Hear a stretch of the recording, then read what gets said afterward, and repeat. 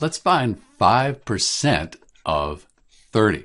So when we think about percent, the word percent, percent means per 100. So we could take 5 per 100, and now we have a fraction, 5 over 100. It's the same thing as 5%. 5 is 5% of 100.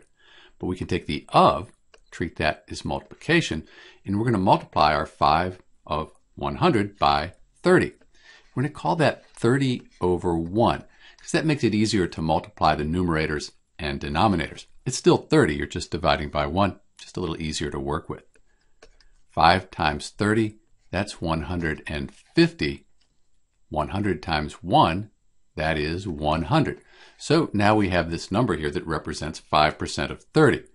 We could simplify this because 50 goes into 150 three times and it goes into 100 two times. So we could also say it's 3 seconds, which we could write as a mixed fraction, 1 and 1 half, or if you wanted to have a decimal, you could have 1.5.